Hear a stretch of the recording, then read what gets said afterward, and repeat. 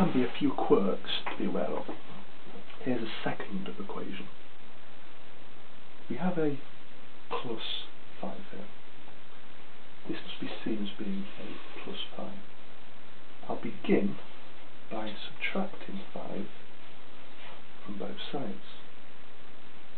So minus 3x is less than or equal to 7. Must then divide by minus 3 so x 7 over minus 3 but here's a quirk.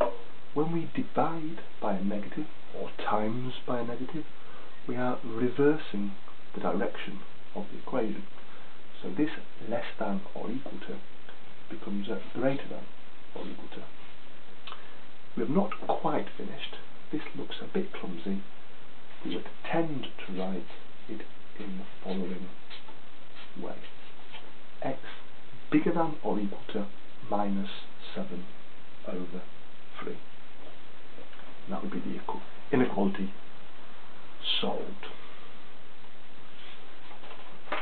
Now a third type of question you might be asked is where it asks you to write down all integers satisfying a particular set of inequalities. Now the 2x here means that first of all we must divide by 2 to get x greater than or equal to 2.5 but less than 20 divided by 2, 10. And integers means whole numbers.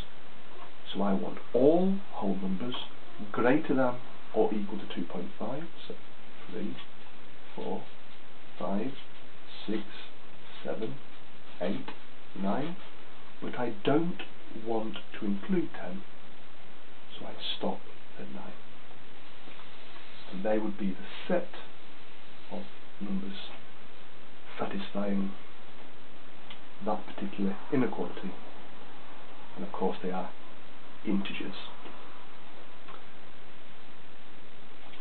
Now, one final thing which they can ask is to represent inequalities on a number line. Fairly briefly to finish off, suppose you've got this as an answer. This means x be bigger than or equal to 8.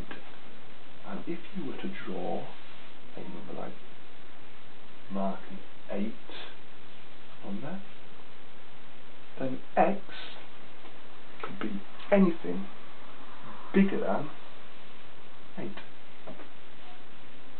And we can include 8, so we put a solid dot above 8. A second example x less than minus 3 number line minus 3 x less than this way back dot dot dot dot dot. We cannot include minus 3 so we have an open circle above minus 3